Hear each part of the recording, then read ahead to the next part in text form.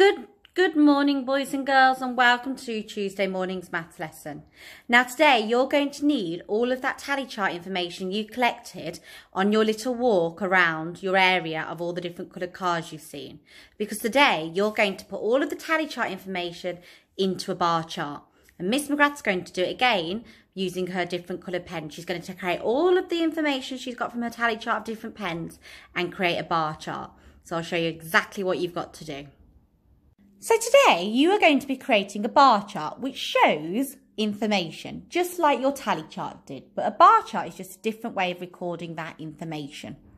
Now you are going to need the tally chart that you created yesterday all about your car colours. Whereas Miss McGrath is going to do her bar chart on the coloured pens that she saw yesterday. And here's my tally chart here. Now, as you can see, I've got the title, How Many Coloured Pens? That's my title. And yours is going to have the cars one. How many coloured cars? And underneath, it's got red cars, black cars, silver cars, white cars, and other coloured cars. But Miss McGrath has got red pens, green pens, blue pens, and orange pens because that was the information that she was collecting.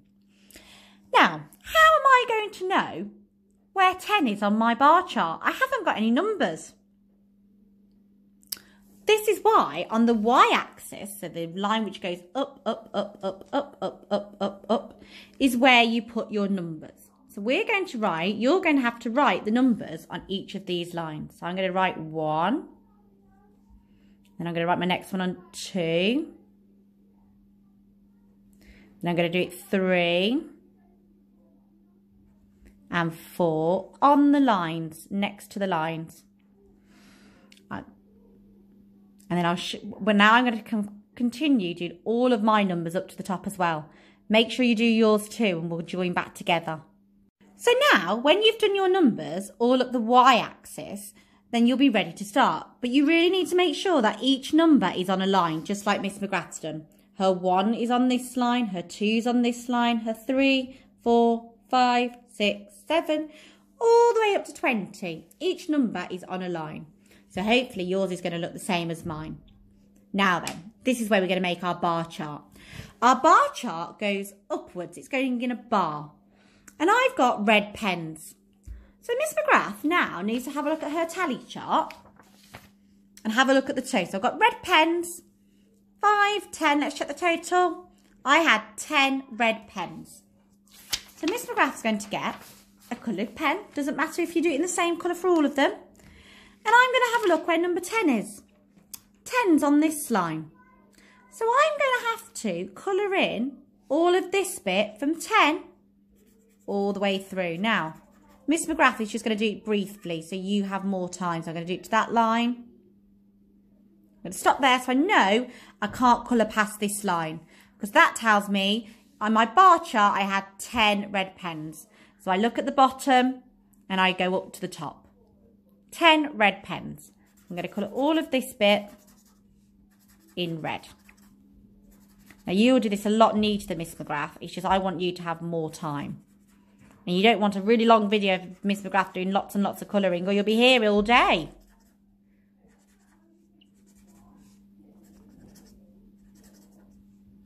Okay, so now my bar chart is telling me when you look at red, you go up. So you go across first, and you go up to 10 and that tells me I had 10 red pens when I was doing my counting.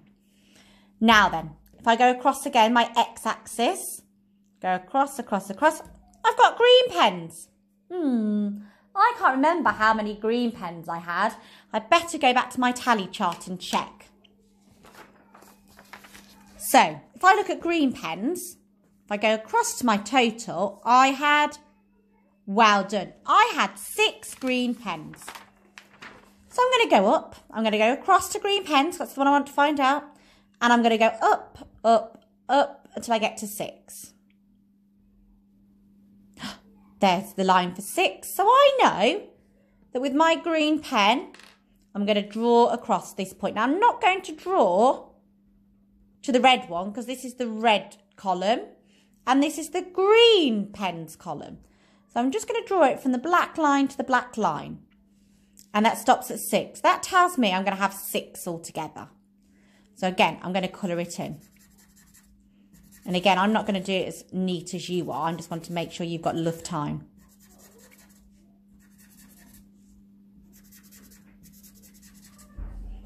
So there. So now if I look at my jar part bar chart, if I want to go across the x-axis and I've got red pens and I go up to the y-axis, I've got 10 red pens. That's what my bar chart's showing me. If I go to the green pens and go up the y-axis, it's telling me I've got six pens. If I go across, the number is on six. The line stops at the number six. Let's have a look at the blue pens, shall we? Hmm, so let's go across the x-axis. I've got blue pens. I can't remember how many I had. So now I'm going to get my tally chart. I found blue pens. I had five. So I'm going to go across my blue, x, the x-axis to blue pens. And I'm going to go up the lines until I find five. Are you ready to help me count? One, two, three, four, five. So that is the amount I have. So I'm going to go up to blue pens, up to five, and draw my line there. So I know that's as far as I go. Because I only had five, I can't invent other coloured pens, can I? So again, I'm going to colour that in neatly. As neatly as I can. There you are. Now, it's not very neat, but I know I want you to have a lot more time. So now then, I'm going to look at orange. And now we've got our last one to do. We have got the orange pens because that is our last one we haven't filled in on our x-axis is the orange pens. So again, I'm going to get my tally chart. I'm going to look at orange pens, go across the total, and I know I only need four. So I'm going to the column of the orange pens and I'm going to go up to four. One, two, three, four. So I'm going to get my orange pen in the column and just draw my line here. And then again, I'm going to colour it in. It's a bit of a messy colouring, but I really want to make sure you have a lot of time. Make sure it doesn't go over like Miss McGrath just nearly did. Just like that. And then your bar chart will show you information. So if Mrs. Forshaw wanted to come and have a look at your bar chart, she'd be able to go, right, for red pens, Miss McGrath had 10. For green pens, Miss McGrath had 6. For blue pens, she had, we're going up, up, up, up, 5. And for orange pens, she had 4.